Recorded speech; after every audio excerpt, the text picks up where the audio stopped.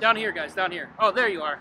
Today we're gonna look at the Sure-Trac enclosed trailer. It is a 6x10 5K axle.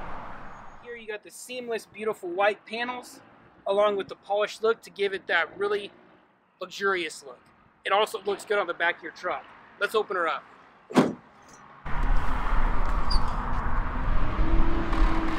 As you can see, it comes down very nice, very easy.